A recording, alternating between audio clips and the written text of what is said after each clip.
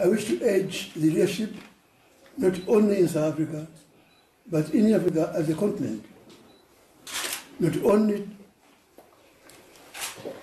stop these barbaric attacks, but also come up with the deliberate programs to inculcate a sense of Ubuntu in our citizenry.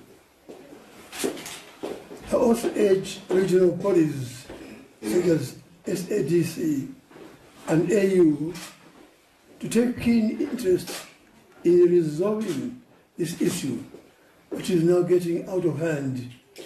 And I'm stressing, and I'm stressing not only in South Africa, but Africa as a continent.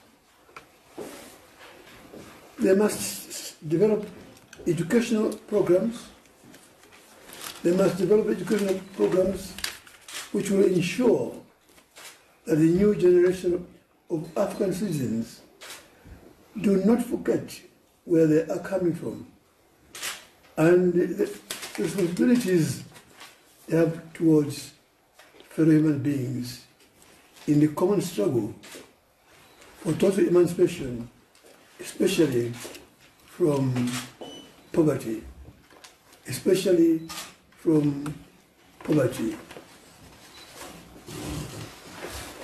You must always remember that our guiding principle and philosophy, just as our Lord Jesus Christ put it, is to love our God and then love our neighbors as we love ourselves. Africa is our own motherland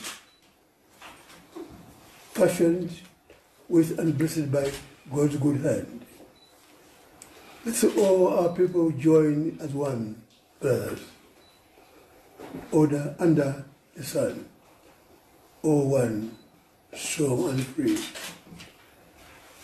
Africa is our own motherland, fashioned with and blessed by God's good hand.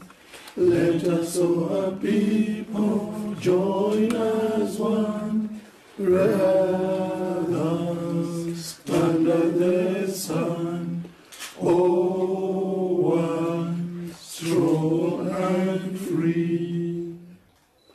May peace prevail in our hearts